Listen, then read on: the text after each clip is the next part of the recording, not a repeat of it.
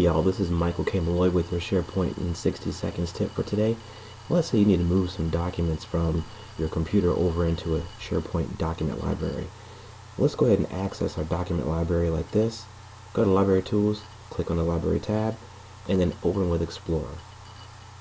This will allow us to drag and drop multiple files at once. And so let's go ahead and access the location where we're pulling the files from. Get those bad boys side by side now we just go ahead and drag a circle around those files and then boom, just drop them in that folder. Wait a couple seconds. We'll go back over to SharePoint, see what's going on. Oh, ooh, what happened? We got no files?